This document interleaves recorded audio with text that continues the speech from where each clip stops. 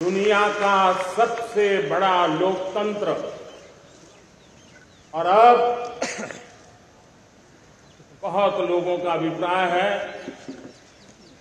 कि जनसंख्या की दृष्टि से भी हम विश्व में नंबर एक पर है। इतना बड़ा विशाल देश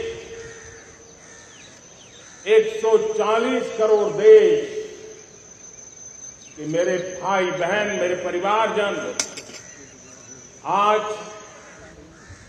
आज़ादी का पर्व मना रहे हैं। मैं देश के कोटि कोटि जनों को देश और दुनिया में भारत को प्यार करने वाले, भारत का सम्मान करने वाले, भारत का गौरव करने वाले कोटि कोटि जनों को आज़ादी के इस महान पवित्र पर्व की अनेक अनेक शुभकामनाएँ देता मेरे प्यारे परिवारजन, पूज्य बापू के नेतृत्व में असहयोग का आंदोलन, सत्याग्रह की मूवमेंट और भगत सिंह सुखदेव राजगुरु जैसे अनगिनत वीरों का बलिदान।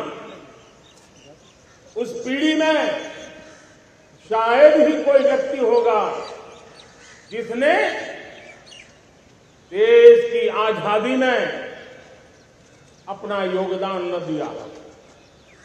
मैं आज देश की आज़ादी के जंग में जिन जिन ने योगदान दिया,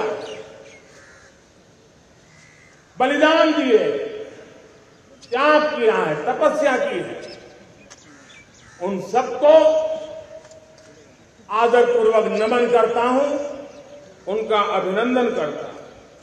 मेरे प्यारे परिवारजनों, पिछले कुछ सप्ताह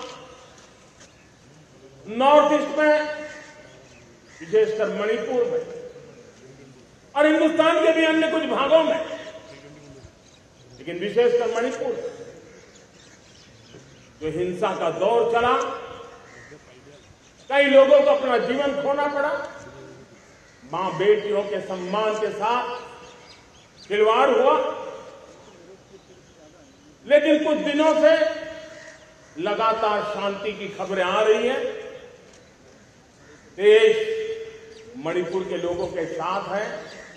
देश मणिपुर के लोगों को पिछले कुछ दिनों से जो शांति बनाए रखी है, उस शांति के पर्व को आगे बढ़ाए और शांति से ही समाधान का रास्ता निकलेगा और राज्य और केंद्र सरकार मिलकर के